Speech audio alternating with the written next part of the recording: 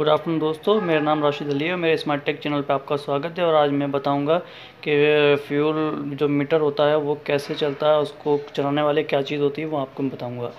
ये जो आप देख रहे हैं, ये इसको बोलते हैं फ्यूल मीटरिंग यूनिट और फ्यूल सेंसर भी बोलते हैं। फ्यूल टैंक लेवल सेंसर भी इसको बोलते हैं। अब हम इसको बताते हैं कि ख़राब है या सही है, उसको चेक करने का सही तरीका बताते हैं। ये मैंने आपको जोड़ रखा है, दो इसके अंदर पिने होती है मल्टीमीटर को कनेक्ट करके और 200 ओम्स पे टू हंड्रेड ओम्स पे मल्टीमीटर को सिलेक्ट करके आप देख रही कि कितना 6.9 रेजिस्टेंस आ रहा है, जबकि वो एम पोजीशन पे है इसका फ्लोट अब धीरे धीरे इस फ्लोट को, अब देख रहे हैं आप, इसको एमपीटी पे है। अब धीरे धीरे मैं इसको इस लेवल को बढ़ाता हूँ तो देखिए रेजिस्टेंस भी बढ़ती रहेगी।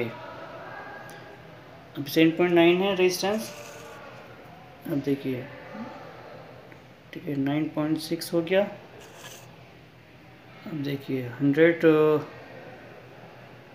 ट्वेल्व हो गया। और हंड्रेड थर्टी फोर हो गया। और ये फुल कर दिया इसका। तो हंड्रेड सेवेंटी थ्री इसका रेजिस्टेंस वैल्यू होगा। हंड्रेड सेवेंटी थ्री इसका रेजिस्टेंस वैल्यू ऑम्स में सिलेक्ट किया है।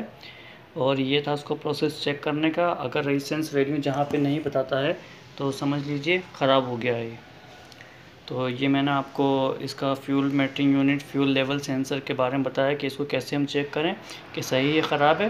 तो जहाँ पे रेजिस्टेंस वैल्यू नहीं आ गई तो समझ लीजिए कि फ्लोट सेंसर वहाँ पे काम नहीं कर रहा और फ्यूल गैज है वो भी काम नहीं करेगा। तो अब यही चीज़ पता करने के लिए सबसे पहले हम मेटरिंग यूनिट को चेक करके मैंने आपको बताया है।